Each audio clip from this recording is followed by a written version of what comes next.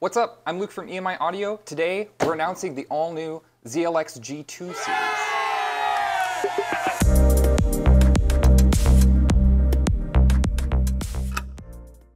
The G2 series comes in an 8, a 12, and a 15. Let's take a closer look. So the G2 series includes an all-new amp module with two combo jacks for each channel, a high-Z input for your instruments, a mix out, and a really easy uh, Bluetooth pairing button.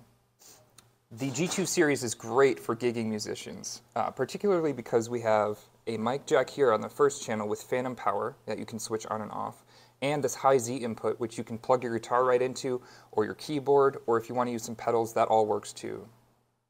So the previous ZLX series was really tricky to uh, pair the Bluetooth. You had to navigate a bunch of menus, but now they just add this button right here. You push it, and you can pair.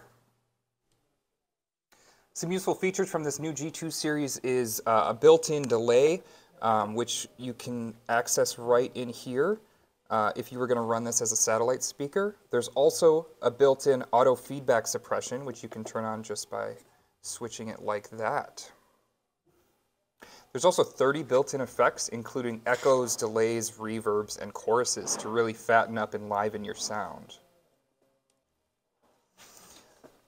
So this G2 series, all three of them, you can lay down on the wedge and still really easily access that new amp module. So these are great for a main speaker or a monitor.